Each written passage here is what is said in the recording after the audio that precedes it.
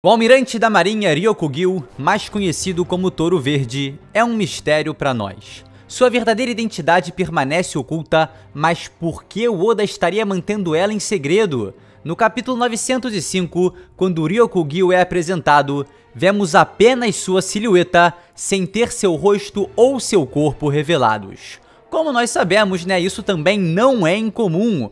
O Oda fez o mesmo com Big Mom, com Kaido, com Oden e vários outros personagens importantes, mas, diferente de todos esses, Ryokugil ainda não teve seu verdadeiro nome revelado. Fala galera, chapéus de palha aqui, eu sou o Lipe e hoje eu vou trazer para vocês mais um vídeo e dessa vez uma teoria do nosso queridíssimo Flying Panda. Se você não conhece esse canal, é o primeiro link aqui na descrição e claro, Vamos falar do Touro Verde? Será que já conhecemos esse personagem? Será que reconheceríamos a sua faceta? Vamos falar de tudo isso nesse vídeo, então já vai deixando aquele like, meu querido, se inscreve no canal se você ainda não é inscrito. O que que você tá fazendo ainda?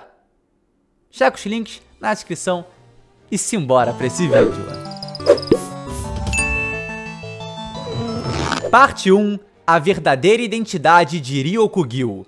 Como sabemos, Ryokugil, traduzido como Touro Verde, é a alcunha desse curioso personagem. O próprio Fugitora, que na realidade se chama Isho, se refere a esse homem apenas como Ryokugil, por mais que eles pareçam se dar muito bem. Normalmente entre si, né, os almirantes se chamam pelo próprio nome, como por exemplo Kuzan, Borsalino, Sakazuki, mas em relação ao Ryokugil, Oda faz questão de manter, assim como sua aparência, o seu verdadeiro nome oculto. Achou que a gente nem ia notar, né? Ah, moleque, a gente tá por observando tudo aqui. E se o motivo do Oda esconder sua imagem dessa forma é porque já conhecemos ele e porque o reconheceríamos. E se o Oda esconder seu nome dessa forma é porque já o ouvimos antes. O codinome Touro Verde é praticamente a única pista que temos, mas mesmo assim, através dessa alcunha, podemos descobrir seu verdadeiro nome. E esse nome é York, o antigo capitão dos piratas Rumbar. Nós acreditamos que ele morreu há mais de 50 anos depois de contrair uma doença incurável. Não querendo que sua tripulação pegasse essa enfermidade, ele disse que sairia da Grand Line pelo Calm Belt na esperança de encontrar um doutor que pudesse ajudá-lo. Mas nós, ele e Brook, sabíamos que essas palavras não passavam de consolo para o seu bando. Entrar no Calm Belt é uma sentença de morte. Então o que o York estava fazendo ali não era nada mais, nada menos que um sacrifício pelos seus companheiros. Doente e desconsolado, York segue sozinho para encontrar seu fim nas brandas águas do Belt e é exatamente aí que não temos mais nenhuma informação sobre ele, nenhuma confirmação de sua morte, nada. A única novidade que a gente tem sobre isso é que é reportado para os marinheiros que o capitão dos piratas Rumbar tá tentando deixar a Grand Line através do Calm Belt, algo que para a marinha é considerado um grande ato de covardia. E é minimamente curioso a gente ter essa informação qual é a relevância da Marinha saber que o York está tentando sair da Grand Line? por que o Oda daria o mínimo foco nisso? Parte 2, York e a doença. E é aqui que a teoria começa a ficar mais interessante. York contraiu essa doença ao entrar em uma floresta em uma ilha desconhecida. Essa enfermidade mostra que os infectados apresentam manchas espalhadas pela pele, e essa doença lembra bastante a febre das árvores, cujo único sintoma aparente é o crescimento de manchas escuras pela pele, a mesma doença que infectou várias ilhas na Grand Line 400 anos atrás, a mesma que surgiu em Jaya e Mont Blanc Nolan foi capaz de curá-la. Então botânicos como ele sabiam dessa doença e sabiam como agir contra ela, mas não é dito em momento nenhum que essa doença foi erradicada do mundo.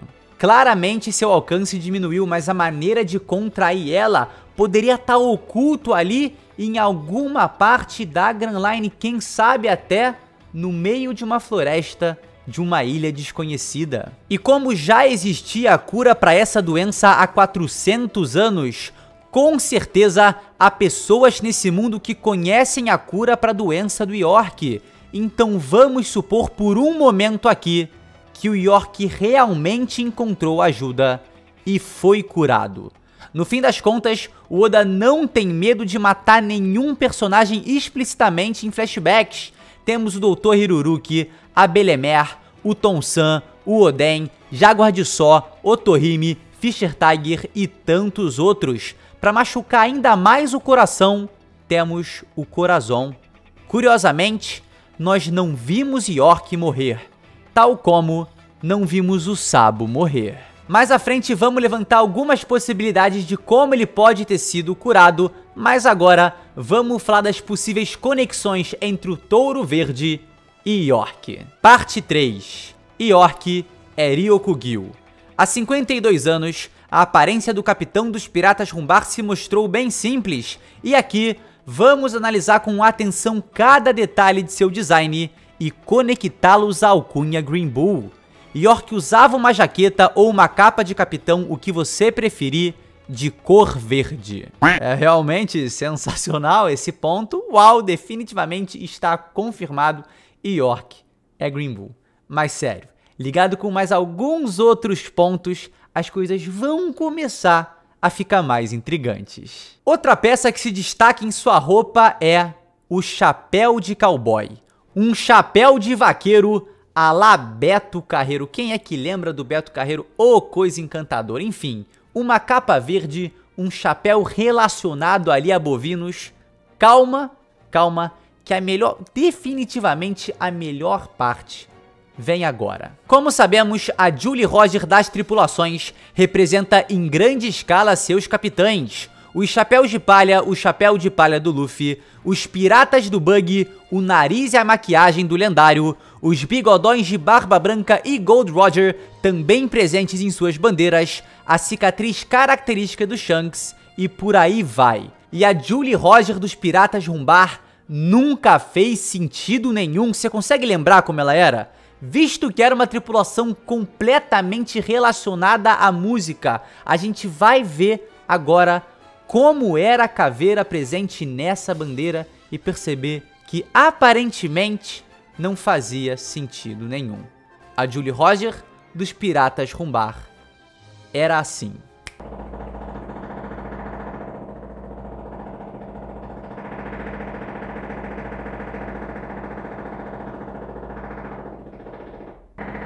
Obrigado. A Julie Roger dos Piratas Rumbar, rufem os tambores era assim: um crânio com chifres de touro, com um formato de olho e nariz bem peculiar, que podemos remeter, pasmem, a um touro. E se esse símbolo na bandeira está relacionado ao York, e com certeza está, o York evidentemente está relacionado a um touro. E é algo que até então nunca foi trabalhado. Parte 4 a sobrevida de York.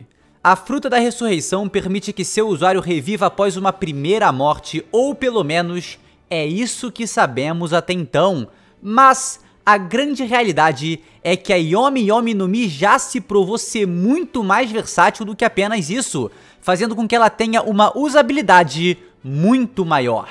Então a gente não sabe qual é a verdadeira extensão dos poderes da Yomi Yomi no Mi a fruta do Brook. Os últimos momentos de Brook e York juntos é extremamente emocionante e um tanto quanto curioso. O Brook diz, por favor se cuide, por favor viva. Assim podemos todos nos encontrar novamente. Então ele toca Binkes no Sake, a música favorita de York, enquanto segue em direção ao seu fim. Mas como sabemos, a música de Brook somada aos poderes de sua Akuma no Mi são realmente capazes de fazer o um encantamento, de elevar seu poder a outro patamar. Pode ser que através da música tocada por Brook, que alcançou o coração de seu capitão em um momento de extrema fragilidade, tenha de alguma forma feito um tipo de transferência dos efeitos da Yomi Yomi no Mi para York, dando assim à sua alma uma segunda chance, uma chance de reviver. A gente sabe que o Brook, através da música, consegue fazer coisas impensáveis, então somado aos poderes de sua Akuma no Mi, ele pode ter gerado um efeito dessa forma. E aqui, é claro, a gente tá entrando muito mais no campo da especulação. E enquanto Brook demorou anos para encontrar seu corpo que estava perdido em meio à neva do Florian Triangle, York estava em um lugar mais aberto e não teria dificuldade de encontrar seu corpo. E ao ter revivido, York mesmo com seu corpo completo, provavelmente já consumido pelas manchas escuras, talvez outro motivo pro Oda não revelar a face de Ryokugil, não precise se alimentar, tal como Brook, pois sua alma já está revivida e mesmo que seu corpo não tenha vida, ele vive. Isso explicaria o porquê de Green Bull não ter comido nada nos últimos três anos, porque ele é um corpo reencarnado que, assim como Brook, não precisa de alimentos. Ou se bobear, né, a doença que ele pegou conservou o corpo dele de alguma forma ou o colocou em uma condição em que ele de fato não precisa comer para sobreviver. E se essa doença for realmente a febre das árvores, combina bastante com a questão do verde, inclusive, né, casaria também ali, combinaria com várias e várias teorias sobre Green Bull que relacionam ele à natureza, à planta, à fotossíntese, enfim, seres mitológicos relacionados à natureza. Então, o verde do touro verde também pode estar tá por aí. Parte 5, o motivo de York. O que faria York desistir de sua vida como pirata, se juntar à marinha e até mesmo ascender à posição de almirante?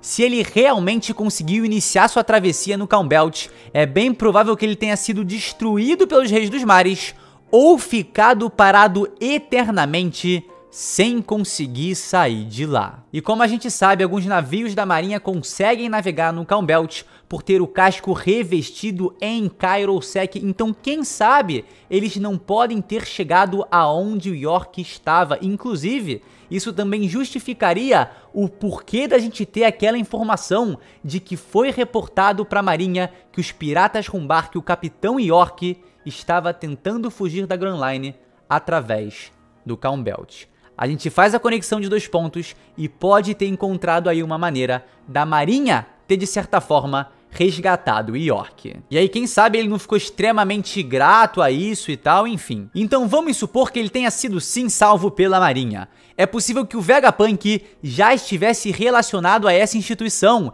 e com seu vasto conhecimento conheça essa doença e saiba como curá-la. E no que diz respeito à cronologia, se a alma dele renasceu no corpo e assim como Brook se tornou imortal, a Marinha ter encontrado ele pode ter acontecido há 50 anos, há 40 anos, 30 anos, 20 anos ou sabe-se lá quanto tempo. Pode ser até mesmo há singelos dois anos atrás, o que casaria com a suposta entrada dele na Marinha e também faria um paralelo muito interessante com o Brook, que assim como seu capitão, teria vagado solitário sozinho, apenas com sua imaginação como companheira, durante 50 anos.